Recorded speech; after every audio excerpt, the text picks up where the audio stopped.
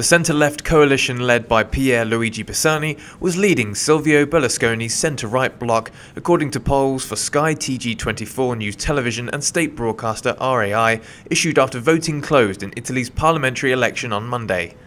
The Sky poll put out the centre-left on 34.5% in the lower house and 37% in the Senate, ahead of Berlusconi's coalition with the Northern League on 29% in the lower house and 31% in the Senate. Beppe Grillo's anti-establishment Five Star movement was on 19% in the lower house and 16.5% in the Senate, while outgoing Prime Minister Mario Monti's centralist coalition was on 9.5% in the lower house and 9% in the Senate. The poll showed the centre-left and Berlusconi's alliance neck and neck in the Senate race in the key region of Lombardy, with the centre-left ahead in the regions of Sicily and Campania, and Berlusconi's bloc well ahead in Veneto.